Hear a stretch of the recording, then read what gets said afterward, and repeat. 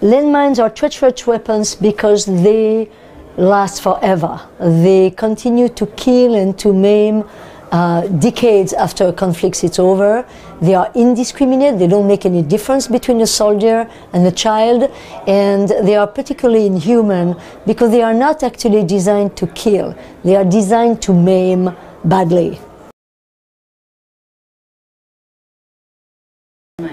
My best argument is that today we have 161 countries which have ratified and therefore decided to ban landmines, anti-personnel mines.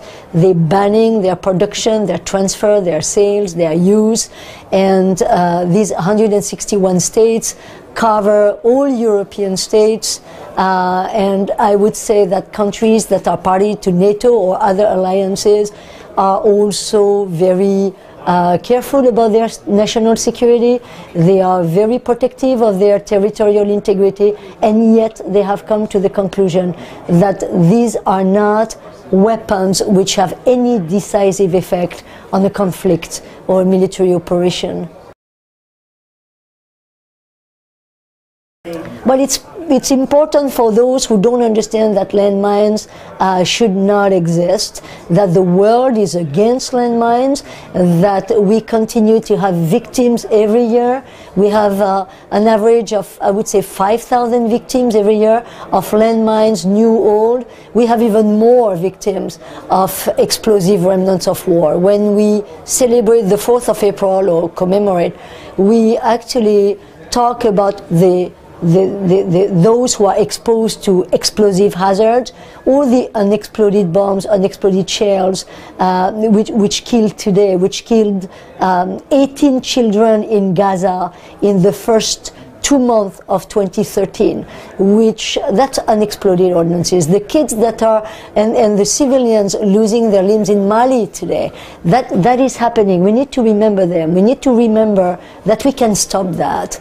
We need to also remember that there are deminers who lose their lives who sacrifice the lives of their families and communities just to make the world safer my own colleagues who are in 18 countries in the world today, who are handling ammunition, weapons, explosive of all sorts, who are trying to see how to protect population from IEDs, uh, the car bombs, the suicide bombers, the, the roadside bombs. We need to remember them, and we need to make sure that uh, we put an end to that. Afghanistan can be cleaned if everybody works on it. We have only 570 square kilometers to, to clear in Afghanistan. The end is in sight.